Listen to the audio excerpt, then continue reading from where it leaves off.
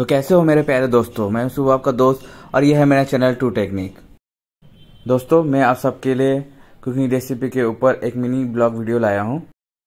दोस्तों, ये प्याजी है, प्याज के पकोड़े का रेसिपी। बहुत ही बेहतरीन रेसिपी है।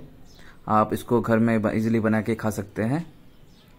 पहले आपको प्याज काटना पड़ेगा, बारीक प्याज छोटे छोटे पीस में। उसके बाद आपको हरी मिर्च काटना पड़ेगा, बारीक। छोटे छोटे पीस में। उसके बाद आपको बेसन लेना पड़ेगा, बेसन। उसमें मिक्स करना पड़ेगा इसके साथ। उसके बाद हल्दी पाउडर लाल मिर्च पाउडर और थोड़ा जीरा पाउडर उसके बाद आपको इसमें थोड़ा नमक डालना पड़ेगा हल्का सा।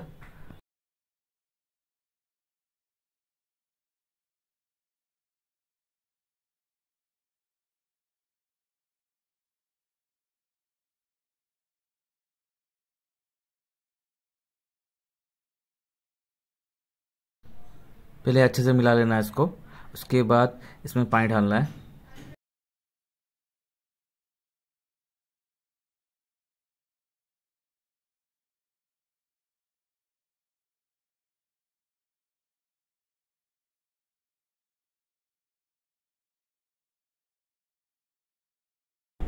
इसमें आपको ज़्यादा पानी नहीं देना है। आप देख सकते हैं कैसे मैंने पानी दिया है इसमें। उस हिसाब से पानी देना है। और पानी दे के उसके बाद अच्छे से मिला लेना है।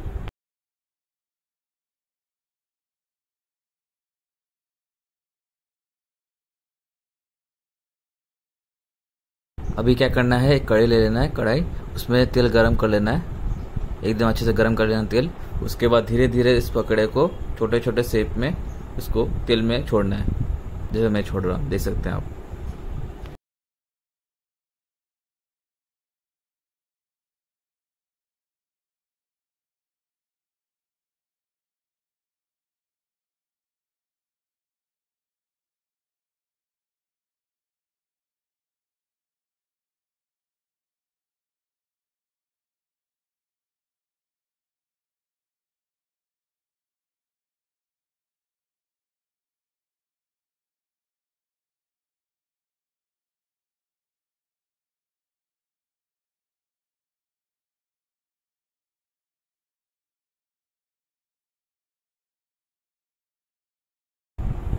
इन पकौड़ों को दोनों साइड से डीप फ्राई कर लेना है। और जब ये डीप फ्राई हो जाएगा तो इनका कलर डार्क ब्राउन हो जाएगा। उसके बाद इसको आपको तेल से बाहर निकालना है धीरे धीरे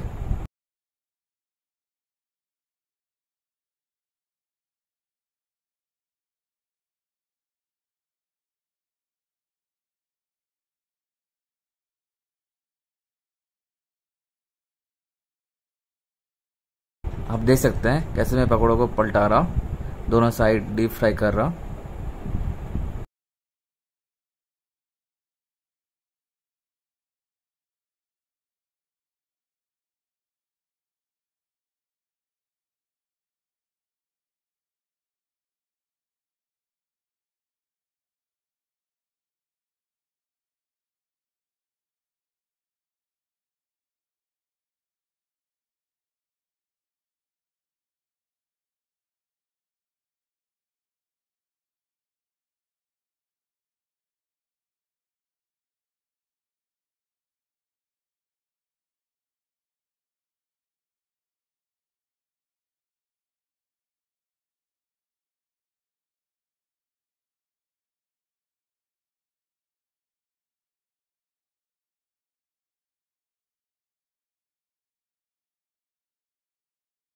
ये इंडियन रेसिपी बहुत ही अच्छा रेसिपी है और बहुत ही टेस्टी है डिलीशियस रेसिपी है।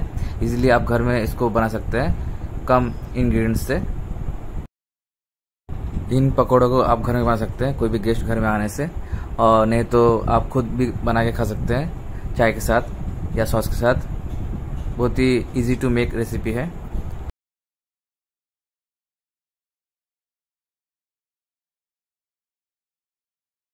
दोस्तों, आप देख सकते हैं, पकोड़ा डीप फ्राई हो गया दोनों साइड से, और इसका कलर भी डार्क ब्राउन आ चुका है। अभी आपको एक प्लेट में इन पकौड़ों को निकाल लेना है, तेल से।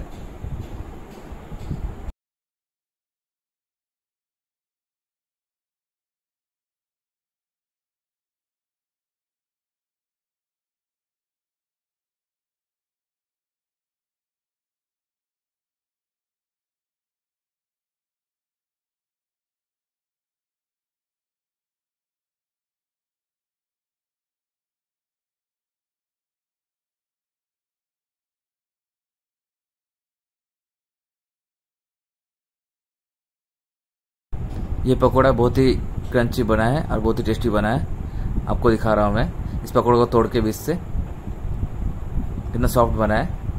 आप इसको घर में बैठ के इजीली बना के खा सकते हैं।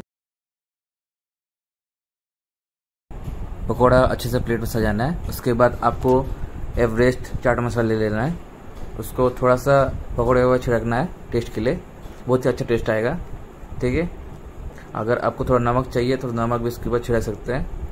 अगर आपको उसके ऊपर नींबू का रस छिड़कना है तो नींबू का रस भी छिड़क सकते हैं आप। ठीक है? और साइड में आपको अगर म्यूनिस खाना है तो म्यूनिस डाल सकते हैं नहीं तो सॉस भी डाल सकते हैं साइड में डाल के उसमें लगा के खा सकते हैं अच्छे से। बहुत अच्छा टेस्ट आएगा इसका।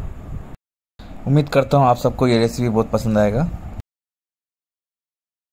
दोस्तों अगर ये वीडियो आपको पसंद आए तो प्लीज़ जाके मेरे वीडियो को लाइक कर दीजिए मेरे चैनल को सब्सक्राइब कर दीजिए और नोटिफिकेशन बेल को भी दबा दीजिए सबसे पहले मेरे वीडियो को देखने के लिए। आप सबका दिन शुभ रहे। फिर मिलते हैं नेक्स्ट वीडियो में। Tata bye bye take care